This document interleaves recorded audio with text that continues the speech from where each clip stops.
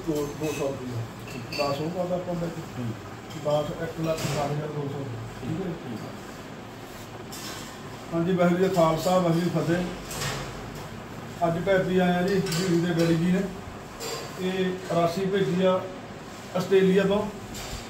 Sant Baba Hazara Singh sports club Gurdaspur lions ਵੱਲੋਂ।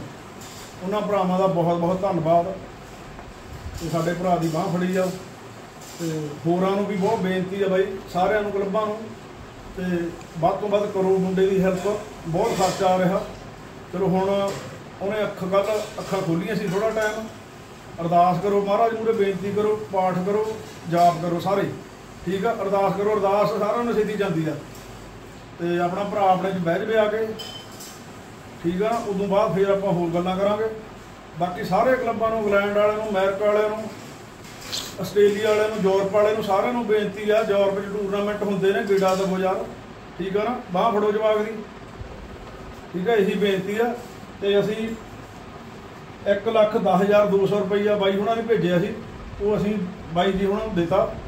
ਤੇ ਇਹੀ ਬੇਨਤੀ ਵੀ ਸਾਰੇ ਜਾਣੇ ਬਾਹ ਫੜੋ ਤੇ ਅਰਦਾਸ ਕਰੋ। ਵਾਹਿਗੁਰੂ ਜੀ ਕਾ ਖਾਲਸਾ, ਵਾਹਿਗੁਰੂ ਜੀ ਕੀ ਫਤਿਹ। ਠੀਕ ਆ ਬਾਈ। ਬਾ ਕੋਈ ਨਾ। ਨਹੀਂ ਨਹੀਂ, ਬਸ। ਬਾ ਫਿਕਰ ਨਹੀਂ ਕਰਨਾ।